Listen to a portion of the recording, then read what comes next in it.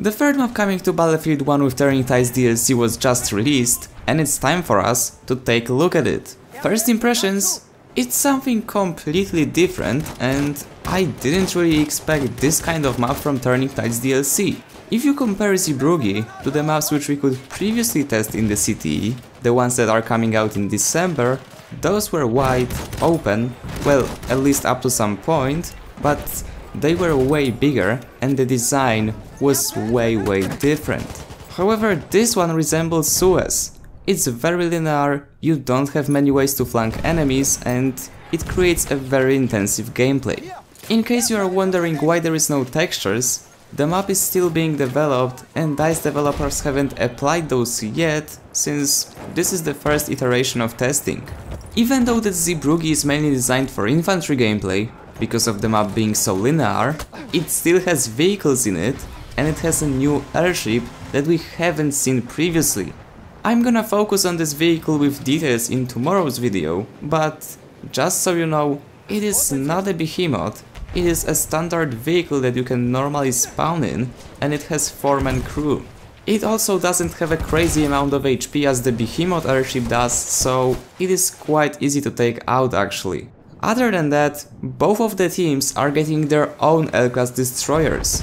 So all those of you who are asking about naval battles and having the ability to fight destroyer against destroyer, it is possible now, you can finally do it.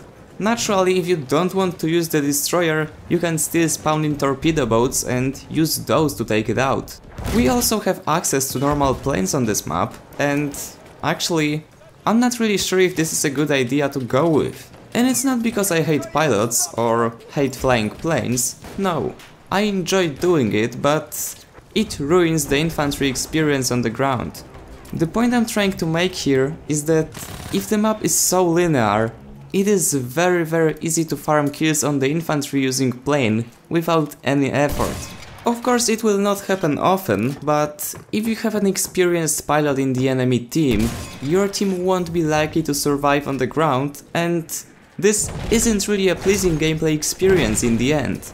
But maybe I'm wrong, maybe I just feel this way, because the only time I've been playing on this map was during CTE session and, as we all know, community tryhard environment was full of streamers, youtubers, tryhards and DICE developers playing this map so it always gives a lot different perspective than it normally does in the vanilla game, trust me. There also are submarines on the map, Sadly though we are not able to use them because they are only a part of environment. It might be disappointing to all those players who wanted to play in submarines and there was tons of leaks that those actually will make it to Battlefield 1 with some DLC. Technically they did, but not as a proper vehicle.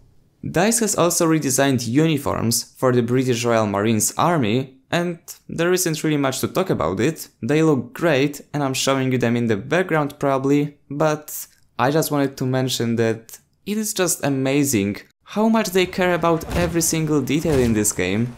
At least as far as graphics go, but still, it's very impressive.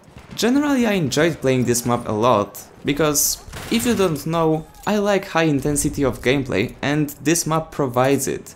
I don't really enjoy playing maps which require me to run from flag to flag and not have any action in between that. On this one, there is no way that you're not gonna have instant action.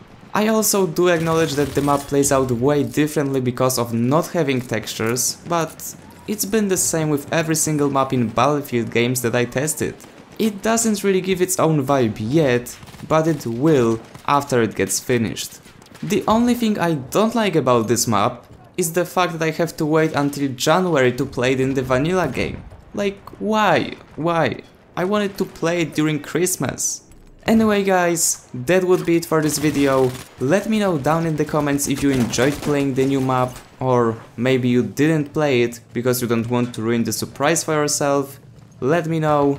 Remember that if you want to get more Battlefield 1 updates from me, you can follow my Twitter which is both linked in the description, plus you can see it on the screen right now. And as always guys, if you enjoyed, remember to leave a like, subscribe, and I see you on the battlefield.